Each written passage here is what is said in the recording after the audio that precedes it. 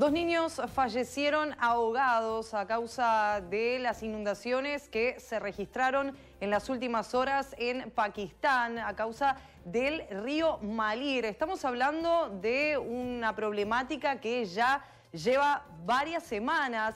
Desde principios de junio se registran las lluvias monzónicas allí. Por cierto, es temporada de lluvias monzónicas en Pakistán, pero se han registrado pérdidas de todo tipo, materiales, estamos hablando de 570 escuelas que eh, se han visto completamente destrozadas y también, por supuesto, pérdidas humanas. Más de 500 personas han fallecido y tenemos que hablar también de un millón de desplazados. En este caso hablamos de estos dos niños que se ahogaron después de que un automóvil fuera arrastrado por una inundación que fue repentina allí en el río Malir, en la ciudad portuaria de Karachi, en Pakistán.